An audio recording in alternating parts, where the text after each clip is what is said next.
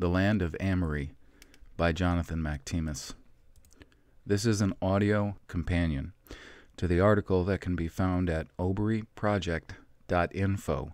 That is O B R Y P R O J E K T dot I N F O on the resources page.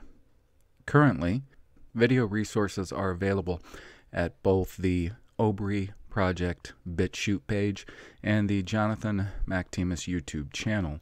That is M A C H T E M E S. Note to the reader slash listener due to the nature of the task ahead of us concerning Obry, many of the proper nouns many may be familiar with from the established translations have been presented either in Obry from left to right with their Strong's number or phonetically based on the best possible rendering of the Obry into English. In the last article, the patriarchs, their livestock, the land, the burden of presenting the material, along with the coded Obry, was obviously very heavy. If it seemed acceptable to just present the popular renderings of these proper nouns, that is what would have been done. However, besides the outright changing of various peoples and places by nearly all translations, even the phonetic renderings are either based on the Masoretic or on factors entirely without any textual merit. It is this author's hope that this continual insistence on either the true source words or at least close phonetic renderings will lead to a wider degree of dissatisfaction with all of the dominant translations based on either a Masoretic or Greek dictation of proper nouns. An interesting coincidence. I once called the Japanese Asian, which they didn't like very much. They said there are lots of Asians. I'm not Indian or Iraqi. I'm from Japan. This specificity of location and race is a point of contention for many, most in fact. I understand, given the diverse nature of peoples from one so called continent. Even Europe, where it is said is the ancestral home of my people, Germans. There's wide diversity between Swedes and Spaniards. A Slav would not care to be called a Celt, and vice versa. But to identify a people with a land is necessary. Categorization is just a tool for specificity and identification. It's what separates the Indians from the Indians, the Georgians from the Georgians, and the Canaanites from the Palestinians. Let's take a hypothetical scenario, which has in fact happened. There is a land in which 10 different kinds of people live. A couple of these people have relatives that traveled abroad and found places with the same name as where they were from. Let's call one of these people the Who's. If a merchant wanted his ship to sail to the land of the Who and buy three tons of sugar, but didn't specify to his skipper which Who, he could have a very bad year. One Who people live in the land of Red named after another people there because of their proliferation and early trading. The other Who live in the land of Blue, also named for a certain people. Now, the merchant can command, Go to the land of Red, to the people of Who. This will then get his ship to the right place. So even though I'm a Hoosier, in a broader sense, I'm an American, and that's the name of the broader land that I live in. If I want to receive my mail, say in Hebron, I'd better make sure the return address indicates Hebron, capital I, lowercase n, lowercase d. No, the three letter designation with no zip code wasn't a mistake, and not Hebron, Palestine. A broader designation, then, is always necessary in helping the seeker to find the right place. Eschatologically, even the least educated Christian knows there's something to the people being reunited with the land, or Israel being brought back to the land promised to Abram as a perpetual possession for his seed through Yitzhak. In fact, many Zionists support the efforts of the Jews and their illegal settlements and aggression towards the Palestinians because of the overwhelming number of Bible passages referring to Israel being put out of the land for so long and returning to inhabit and, quote, rebuild the waste places, unquote, as it were. They do not realize that, quote, a land without a people for a people without a land, unquote, was and is utter nonsense. It was contrived by the same people who owned the shipping companies that brought mostly whites and sparse blacks to the New World, in quotes. A land that truly was so devoid of a population to fill its spaces that we still are far, far away from accomplishing that to this day. There does, however, remain a stark eschatology that demands the people be returned to the land. Quote, Yet the number of the children of Israel shall be as the sand of the sea, which cannot be measured nor numbered. And it shall come to pass that in the place where it is said unto them, Ye are not my people, there it shall be said unto them, Ye are the sons of the living God. Hosea 1, verse 10. Quote, in the place, unquote, is makum, Strong's 4725, as in the same location. There is a very real geographical aspect to end times prophecies. Of course, most have been convinced that Palestine and the Middle East is the obvious location for the events described in the Bible. But as many have already seen in my article and video, the patriarchs, their livestock, the land, and as you will witness in many articles to come, well, if the glove doesn't fit, it ain't legit. What about all those Babylonian and Assyrian artifacts? What about the Merneptah Stela? What about all the artifacts around Palestine and Egypt. I say, what about all the Hebrew, Roman, Egyptian, Phoenician, in quotes, Greek, and Ptolemaic artifacts, archaeological locations, giant skeletons, sometimes in full armor, earthworks, and still standing ruins in America that are often either covered up, declared off limits, destroyed or lost by the Smithsonian, or attested as fakes by, in my opinion, the most shady of characters. There are two infractions that will get any case thrown out of court murder, extortion, or otherwise. One is planting evidence, and the other is destroying evidence.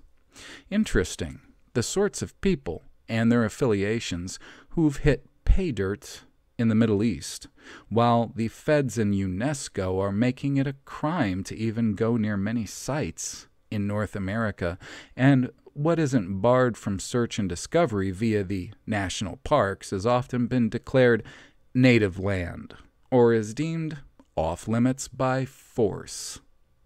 I'll readily admit it certainly seems they are pulling a whole lot of evidence out of the ground over there.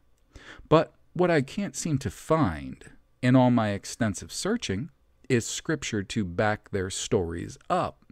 It amazes me how many people would prefer to accept the evidence of the same sorts of people with the same sorts of connections that brought many of the whites to North America as slaves hooked half of China on opium and are doing the same to white countries today, have been the source of usurious banks the world over, popularized communism, and control most film studios, publishers, and news sources. In quotes.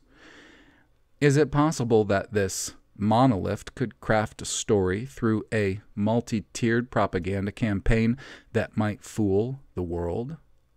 Any student of revisionist history knows this is not only possible, but it's been done in spades. Because we know we've been fooled in more ways than have even yet been accounted for, it is an encumbrance upon those who love the truth to question the entire secular narrative. This article, like my last, was precipitated by a seemingly insignificant bit of information that didn't seem to fit the rest of the text. I've now come to realize that this sort of thing is never a mistake, but is always quite deliberate on behalf of him who inspired the text itself.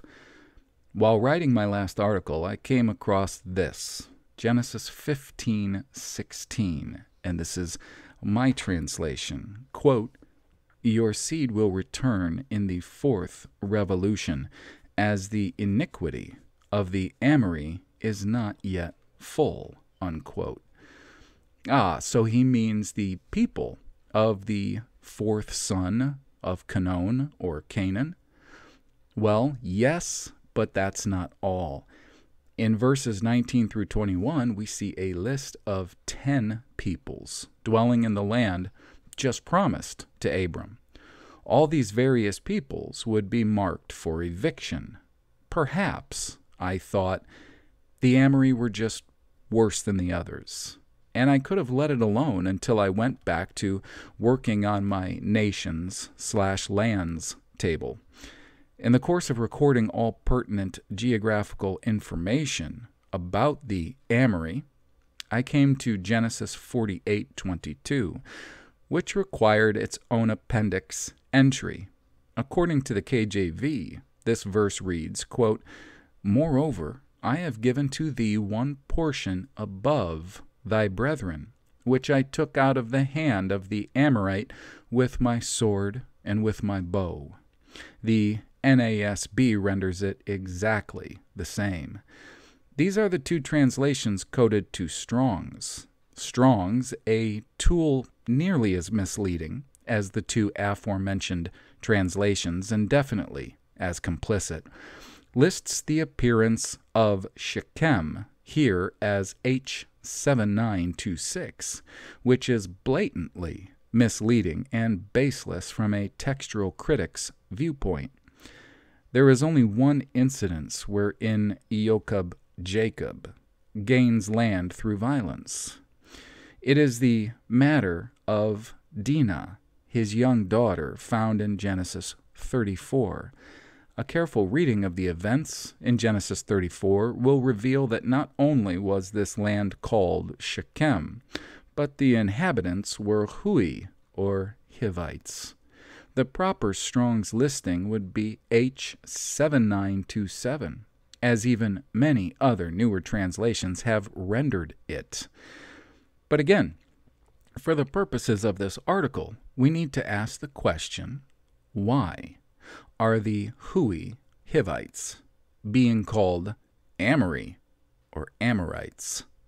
This was once again the oddity I was presented with. Now, a one off is a shrug of the shoulders. A two off is enough to raise a very real suspicion. How about three? Okay, let's do three.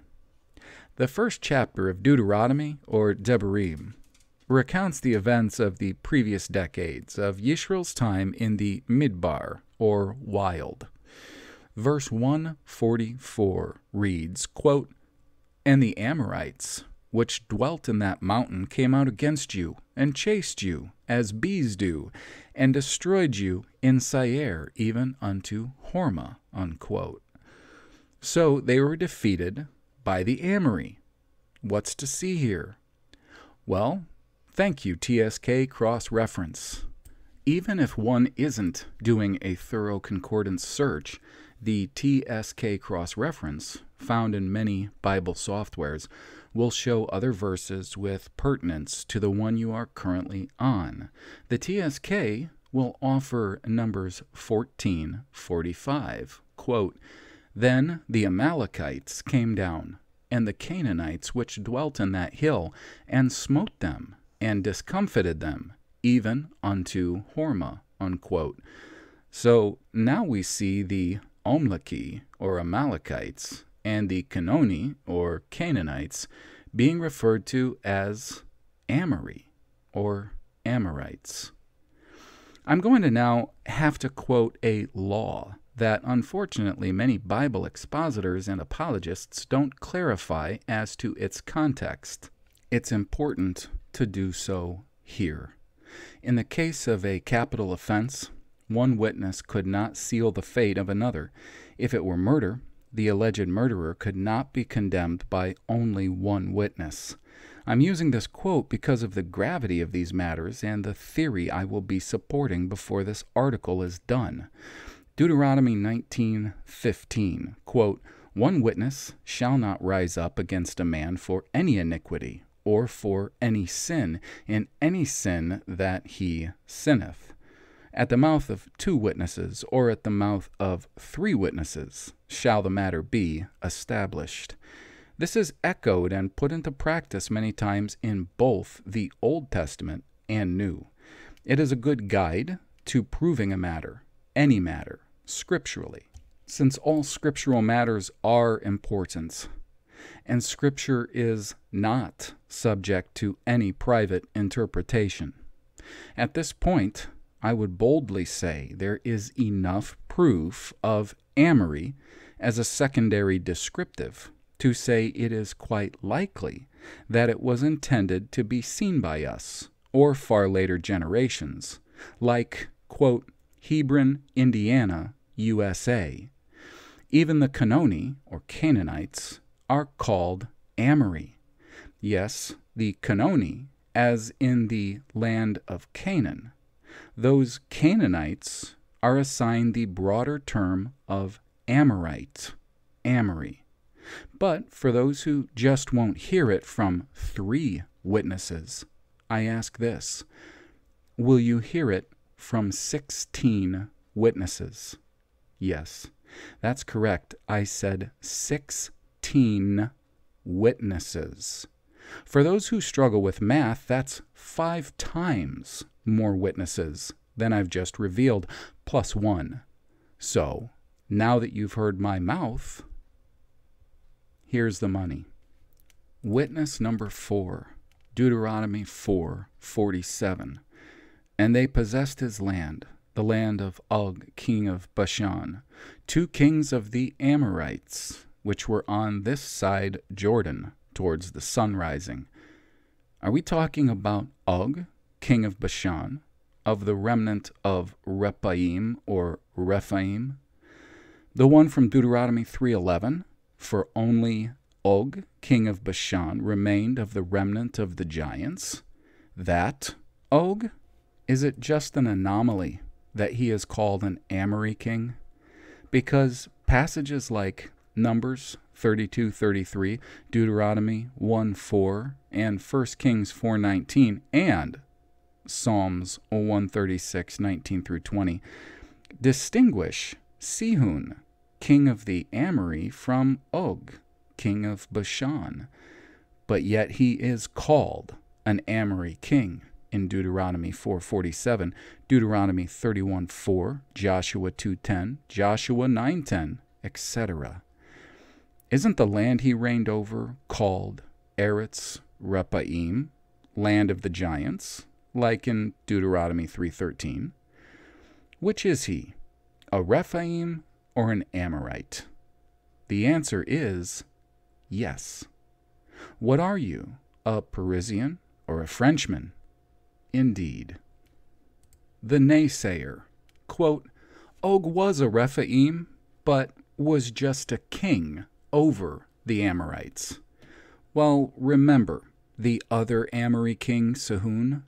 Did you know he ruled over the Midianites? Joshua 13:21 or that he took his lands and cities from the Moabites? Numbers 21:26 through 29.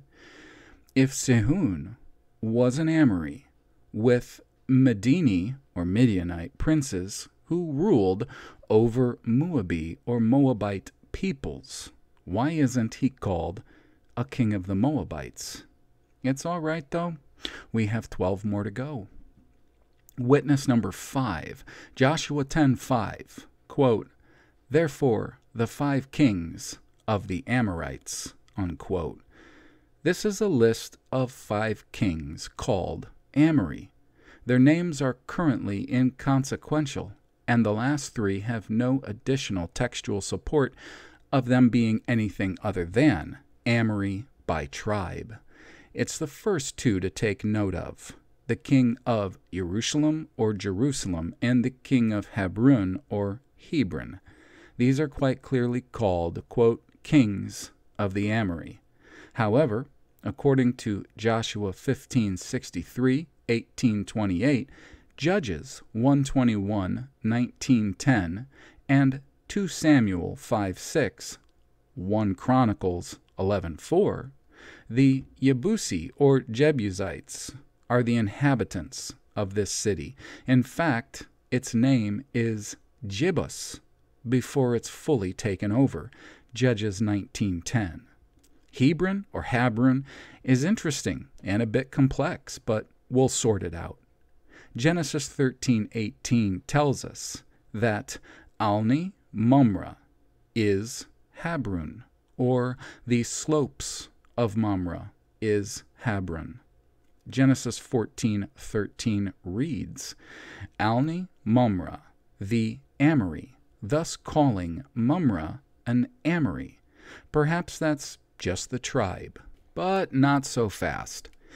In Genesis 23, when Abram needs to purchase land for burial purposes, he has to meet with the sons of Heth, or the Hethi, translated Hittites, and purchase land from them. These Hethi know and respect him. In verse 10, they're meeting in the gate of the city. This is where administrative matters are settled. The parcel he buys adjoins the slopes of Mamre from verse 17. If the tribes of the Hathi and Amori both lived there, where were the Amori? Abram had a covenant with three Amori, including Mamre, as per Genesis 14:13. Why not go to them? He did go to them. They were tribally Hathi, and in a broader sense, Amori. No? Well, here's the thing. While they are in Mitzrim, this once Hathi dominated city becomes Kerith Arbo from Joshua 14:15 and Genesis 23:1. It is built by the sons of Onak. The Onakim were giants and were unchallenged. Deuteronomy 9 2. So, as per Joshua 11:21, Habron or Kerith Arbo was an Anakim city, correct? Yes. And as per Joshua 10:5, it is an Amori city. Are we seeing a pattern yet? A Nova Scotian is a Canadian. A Berliner is a German a Pekingese or Beijing is Chinese, and so on. No? No problem. Witness number 6. Joshua 24:15. Or the gods of the Amorites, in whose land ye dwell. Be careful to read the whole chapter up until that point, and pay attention to all the various peoples listed, including the tribe of the Amori. But what if in this verse he is talking about just the gods of the Amori?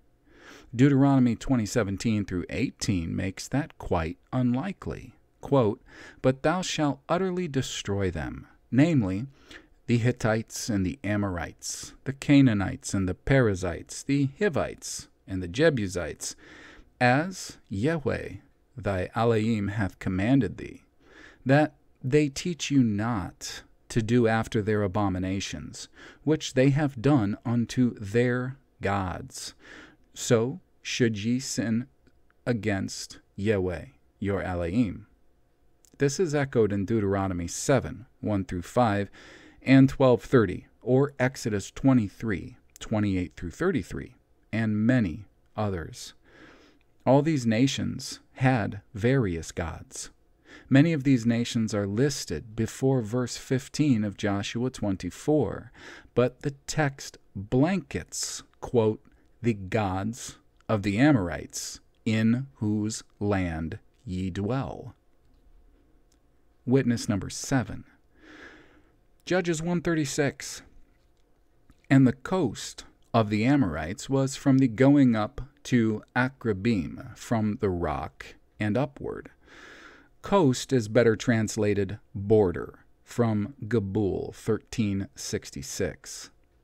Besides the fact that two verses prior, we see the Amori driving Dan into the mountains and would not let them dwell in the valley, even though Numbers 13:29 tells us the Amori dwell in the mountains and the Omliki dwell in the south. This passage cites a place at the southern extremity of Yisrael's new territory and, quite mechanically, states the Amori's border was from that point up. There were many various peoples dispossessed from that point up. Witness number 8, Judges 6, 9 and 10. And I delivered you out of the hand of the Mitzri and out of the hand of all that oppressed you, and drave them out from before you, and gave you their land. And I said unto you, I am Yahweh, your Elohim. Fear not the gods of the Amorites, in whose land you dwell, but you have not obeyed my voice. This, of course, harkens back to the initial prophecy to Abraham in Genesis 15, 13, and 14. Quote, And he said unto him, Abram, know of a surety that thy seed shall be a stranger in a land that is not theirs, and shall serve them, and they shall afflict them four hundred years. And also that nation whom they shall serve will I judge, and afterward shall they come out with great substance. The all that oppressed you part, remember, includes the land of Canaan before Mitzrim. They were only in hard bondage in Mitzrim the last half of their time there, which was only about two centuries, their time there. Again, as before, there were many peoples and many gods, but here they are directed to not fear the gods of the Amori, in whose land you dwell. Check the source text. That translation is very accurate. Everywhere Yisrael dwells at this point is the land of the Amori. Witness number 9, Judges 10:8. And that year they vexed and oppressed the children of Israel 18 years all the children of Israel that were on the other side Jordan in the land of the Amorites, which is in Gilead. I'm certainly surprised that this area is called, quote, the land of the Amori, as the sons of Yisrael had taken it more than 300 years prior. If you look at the source wording a translation more like, quote, the land of the Amori in Galod.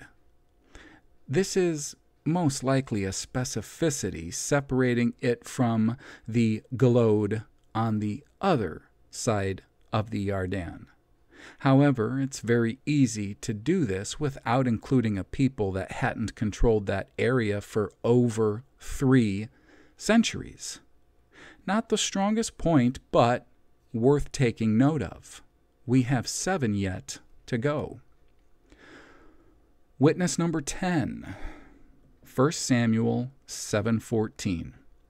And the cities which the Philistines had taken from Israel were restored to Israel, from Ekron even unto Gath, and the coasts thereof did Israel deliver out of the hands of the Philistines, and there was peace between Israel and the Amorites. Wait, back up. There was peace with the Amori once they had retaken control of all the Palshathim cities? The Amori haven't even been mentioned since Judges 11:9, and that being in a retelling of the final events of the Exodus. Before that, it was Judges 10:8, which we just covered. In fact, not even a scuffle with the Amori is recorded since Judges 1, and that's about four centuries prior. Everything surrounding the above passage from 1 Samuel is about the Pelshathim, who Yisrael have been fighting with almost exclusively for a century. They had peace with the Amori Pelshathim, like the South African Zulu or the South American Portuguese. The truth is, the tribe of the Amori have been so absent from the narrative that they aren't even the subject of our next entry. Witness number 11, 2 Samuel 21 2. Now the Gibeonites were not of the children of Israel, but of the remnant of the Amorites. And the children of Israel had sworn unto them, and Saul sought to slay them in his zeal to the children of Israel and Judah. This story goes back to the time when Israel had first come into the land. The men of Gabon, 1391, which is translated Gibeonite, had deceived the princes of Israel to strike a covenant with them. When Yusho found out about their deceit, he told them, quote, Now therefore ye are cursed, and there shall none of you be freed from being bondmen, and hewers of wood, and drawers of water for the house of my God. Joshua 9:23. So after the sons of Israel defeated the Amori kings, who by tribe weren't Amori, in Joshua 10, Joshua 11:19 reads, quote, "There was not a city that made peace with the children of Israel save the Hivites, the inhabitants of Gibeon, and all other they took in battle." So who were the men of Gabon or Gibeon? The remnant of the Amori they were Hui, or Hivites, which made what Shaul did to them a breach of a long standing covenant, and persuaded Duid, or David, to resolve it in the manner with which he did. They were Amori Hui, like the Swedish Arabs or Roman Swiss Guard. Witness number 12. 1 Kings 21 26. And he did very abominably in following idols, according to all things as did the Amorites, whom Yahweh cast out before the children of Israel. This, of course, bears resemblance to Judges 6, 9, and 10, and the crossed references to that verse. Remember, even 1 Kings 9:20 lets us know the Amori as a tribe are still around. But once again, 1 Kings 21:26 uses Amori as a broad term to cover many peoples. Is it strange that a whole land and various peoples would be called by the name of one tribe? Have you heard of England? Did you know the Franks were one tribe who occupied parts of France? And don't even get me started on Saudi Arabia. Witness number 13 2 Kings 21:11 Because Manasseh, king of Judah, hath done these abominations, and hath done wickedly above all that the Amorites did, which were before him, and hath made Judah also to sin with his idols.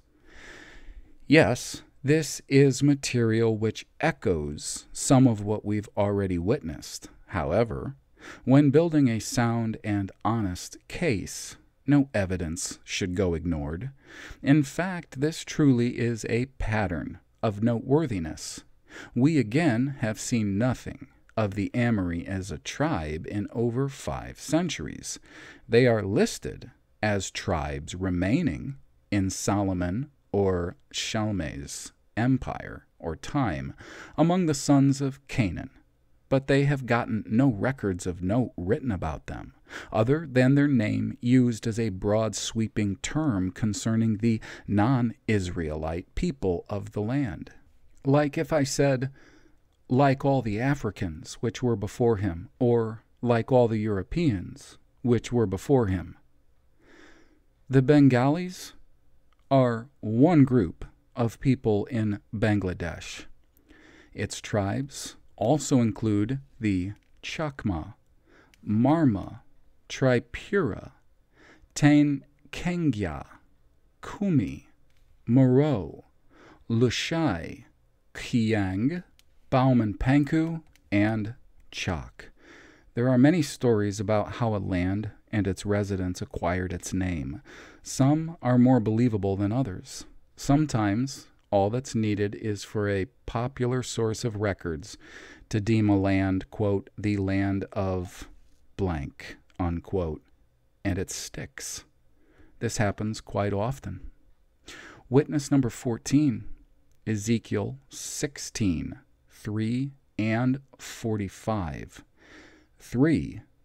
And say, Thus saith the Adonai Alaim unto Jerusalem Thy birth and thy nativity is of the land of Canaan. Thy father was an Amorite, and thy mother an Hittite. And verse 45 Thou art thy mother's daughter, that loatheth her husband and her children, and thou art the sister of thy sisters, which loathed their husbands and their children. Your mother was an Hittite, and your father an Amorite. These two passages denouncing Jerusalem or Jerusalem for her whoredom is using tribal specifications. It seems to me that the speaker, being Yahweh, is equating the tribe of Yehuda or Judah with the tribes mentioned, quote, of the land of Canaan. The vast majority of tribes in this land were of the seed of Canaan. Quote, Your nativity. Jerusalem wasn't born to the land of Israel, Judah, or Benjamin. It was born to a Canaanite. It was being said to still be a Canaanite. Its parentage, though, is of interest to us here. Quote, Your mother was an Hathi, or Hittite, and your father was an Amori, or Amorite has no basis in the records of inhabitants of Jerusalem. If one wishes to equate Shelem, Strong's 8004, with Jerusalem, Strong's 3389, then the earliest inhabitants we know of are the Hui or Hivite, and the most prolific tribe associated with Jerusalem are the Yebusi, Strong's 2982. Speculation can go on forever on why the Hathi for maternity and Amori for patronage, and I don't think any side would gain significant ground. However, one fact is clear a Jebusite city with arguably no other historical inhabitant than maybe the Hivite from Genesis 33:18 is said to have an Amorite as its father. If this were isolated, one may wonder why. But when seen in context with all the passages that deem various inhabitants of the land as Amori, and the land itself as Eretz Amori, it becomes more clarified. The paternity used here cannot be arbitrary. Witness number 15, Amos 2 9. Yet destroyed I the Amorite before them, whose height was like the height of the cedars, and he was strong as the oaks. Yet I destroyed his fruit from above, and his roots from beneath. I don't know if Arazim Strong 730, which is the word translated as cedar, should be cedar or another species, but I do know this is saying these people were giants. The Amori or Amorites, however, as a specific tribe from Canaan, were not giants. Rephaim or Rephaim were, and the Onakim or Anakim were. And I may have missed any other giant people like the Amims or Zamzamims, which Israel never dealt with. But the Amori, as in the sons of Canaan, were not giants. The giants who Yahweh expelled are being blanketed as Amori. This is because they were Amori, just as Og of Bashan, as the sons of Anak of Hebron, as the remnants of Anak among the Philistines. The giants of the land called Amori are Amori giants. Witness 16, Amos 2:10. Also, I brought you up from the land of Mitzrim and led you 40 years through the wilderness to possess the land of the Amorite. This is just a great passage illustrating what's going on here. Does anyone remember that from the time Yisrael took the kingdom away from Sihon and Og, their expansion covered so much land at the time of Duid and Shalmei, or David and Solomon, that the peoples they either encompassed or displaced was at least in the dozens. Yet, many years afterward, the prophet Amos, speaking for Yahweh, says that they were to possess the land of the Amori, not the land of all the various peoples whose land they did in fact possess, the land of the Amori.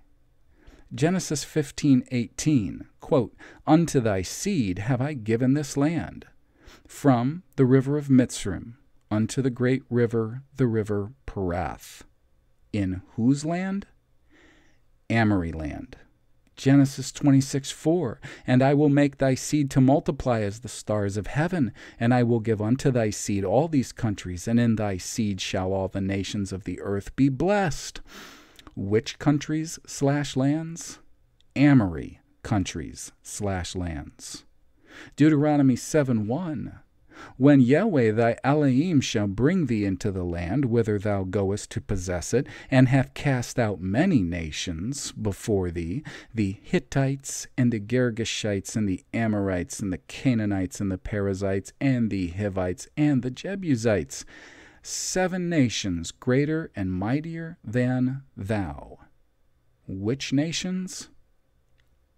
Amori nations every nation or people within the boundaries of the land taken are, according to the living God, Amori. And your point is, for starters, if the following 16 points have failed to convince you that at least the God of the Bible prefers the blanket term Amori or Amorite for the land of and the people of quote, the promised land, I'd conclude that objective evidence and sober facts aren't really your style. One must also be cognizant of names of places being established very early. Genesis 10 early. Quote, By these were the isles of the nations, divided in their lands, every one after his tongue, after their families, in their nations. Genesis 10:5. Genesis 10, 20 and 31 echo as much concerning Ham and Shem. The Bible routinely refers to the nations and locations of the world based on names of the sons and grandsons of these three Noahic or Nahi patriarchs. As late as Ezekiel 38, we see the names of nations and peoples Magog, Meshech, Tubal, Gomer, all sons of Japheth, Cush, Put, sons of Ham, Togarmah, Tarshish, grandsons of Japheth, Sheba, Dedan, great grandsons of Ham. This is not a few exceptions, but the rule. Run cross reference searches on all the names mentioned in Genesis 10. You'll see that just as it's written for each of the three houses, the nations, peoples, and lands were, for the most part, named according to these early Nahi generations. Incidentally, I can't say enough bad things about the translations of these names and their inconsistencies, which anyone will see upon performing the aforementioned search. What you will find is twofold. One, you'll find that these early descendants' names stick for the whole of the Obri, or Hebrew, record. And two, many of the original Obri names of nations and peoples have either been phonetically distorted or outright changed in modern translations. Examples Canon, altered to Canaan. Hui, altered to Hivite. Rephaim, altered to Rephaim, and or embalmer, and or medicine, and or dead. Tzidon, altered to Sidon or Zidon. Pelshathim, altered to Philistines, today incorrectly seen as the Palestinians. The Arm Narim, outright changed to Mesopotamia. Ashur, altered to Assyria. Thrash Ish, altered to Tarshish, and I suspect altered again to Tarsus in the New Testament Greek. Iyun, outright changed to Greece. Mitzrim, outright changed to Egypt. Arm, outright changed to Syria. Porus-E, outright changed to Persian. Now, this is one of my personal favorites. Labi and Puti, two distinct people slash places, both altered, both appearing as Libya at some point. Both cannot be Libya, unless Nahum 3.9 ought to read, quote, Ethiopia and Egypt were her strength, and it was infinite. Libya and Libya were thy helpers and that was with Lubim changed to Libya, as they are represented as Libya in Daniel 11:43. Note, none of the nations listed in Nahum 3:9 are correct renderings. Thanks, King James. But he did get a lot of help from influential friends. But I digress. Even though the world as we know it has undergone a massive identity shift sometime in its past, we see the Bible affirming that the names of many places were attributed to the second to fourth generations from Noah.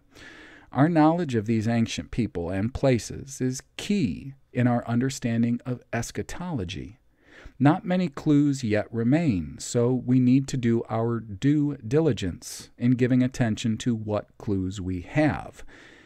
It's my firm belief that in time, I and others like myself will amass such a body of conclusive evidence against the current popular model, location, and people of biblical events that it will be undeniable that someone has tampered with not only the record, but with the nature of reality itself.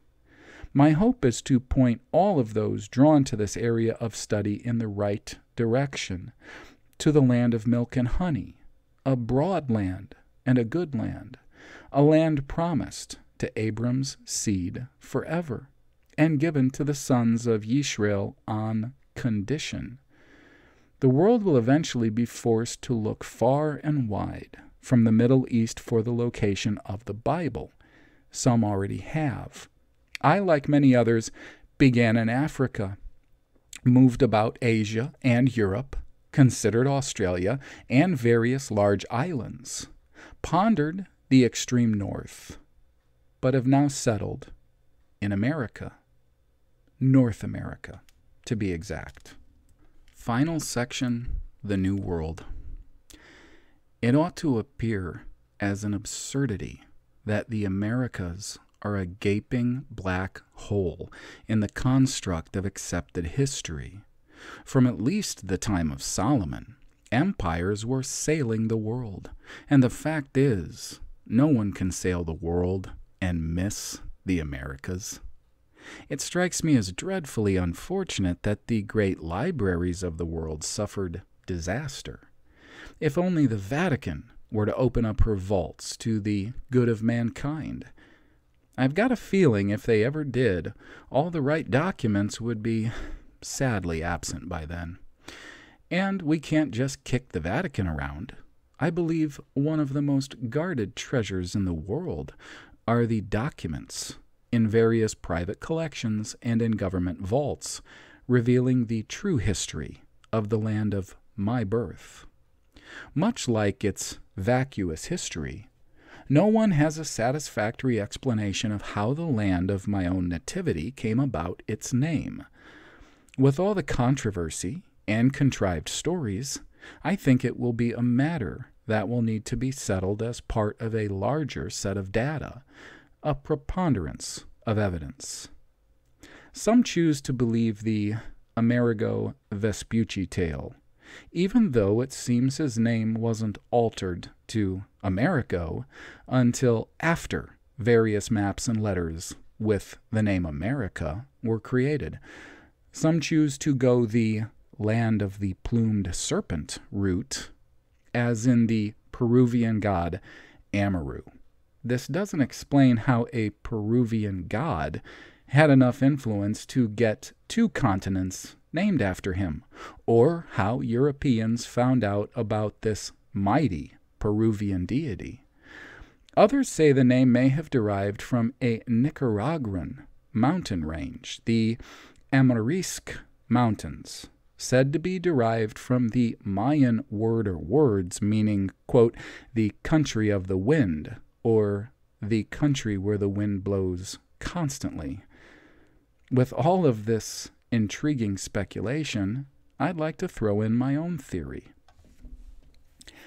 At one time, in the history of most of the world, both Latin and Greek were at least very close to being universal languages. Both of these languages have had a marked effect on the current place names we know. The Latin suffix icus, I-C-U-S, is said to be a successor of the Greek ikos, I-K-O-S.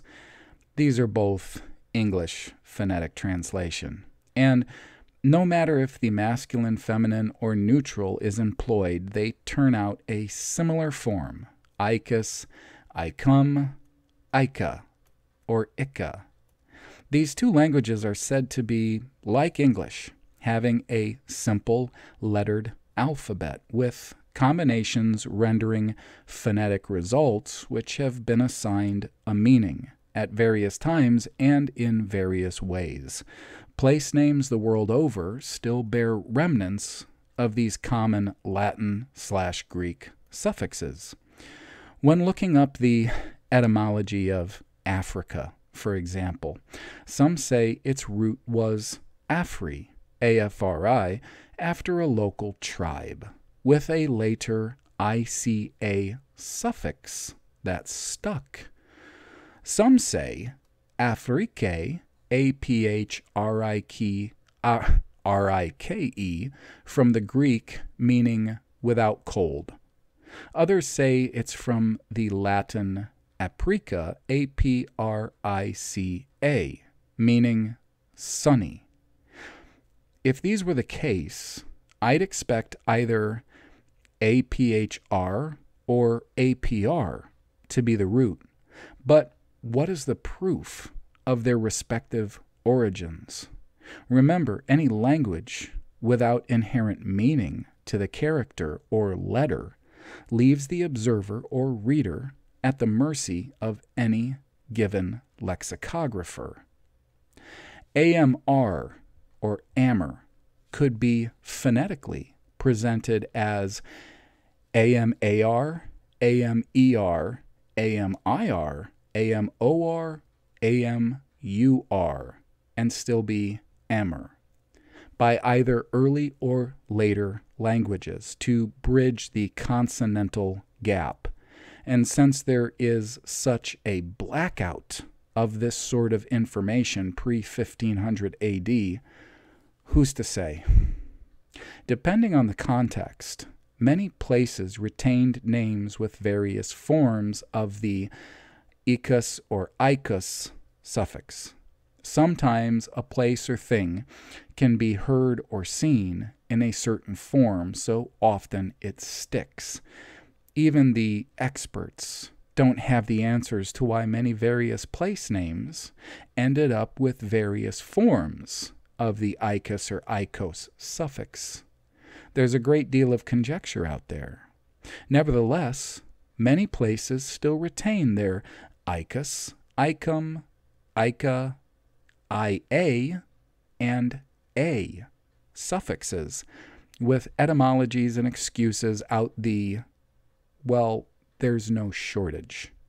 From all I've witnessed concerning these fiat languages and the absurdity of believing man could be sailing the seas without a good knowledge of the Americas, along with all of the biblical passages I've provided at the start, I'm asserting that the land known as that of the Amer, AMR, would become the Amer, AMER, and as it was pertaining to the Amer, A M E R, it would likely get the feminine I C A to remain static, as there are many bridges in the handing down of languages that can cause the feminine ICA to stick, like we see even with the Spanish suffix in Mexico, thus becoming America which was never the New World as it's perceived by most today,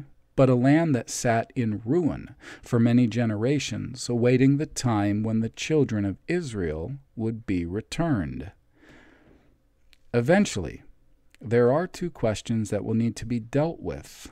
One, why doesn't Palestine and the Middle East work? And two, why does there seem to be a great gaping void where the Americas should be in history. By now, I'm quite sure that a full barrage of questions, conceptions, and conundrums are spinning through the listener's head faster than they can keep up with. I say, don't worry, there will be more. The one thing that has no fear of scrutiny is the truth. I've been suspicious of America's origins for some time but was in no hurry to publish any theories until this Amori puzzle was brought to my attention. The more empathetic part of me wants to soothe the troubled mind of those whose cognitive dissonance is running wild on them at this moment by saying, Don't worry, it's just one thing, you know. Who knows where it'll go from here? But I know better. The truth is, before this Amori question was revealed to me, I already had a very bulky list of items linking America to the Bible. But what if you're wrong, you may ask? That part is easy. I simply admit my error and move forward. Simple, relatively painless, perhaps relieving. The real hard part the possibility rife with a lack of ease and comfort, the remarkably painful, woefully fragile, and wonderfully horrifying option is not, what if I'm wrong? The truly difficult part of all of this? is What If I'm Right? Be sure and visit obryprojekt.info. And may the truth win out in the end.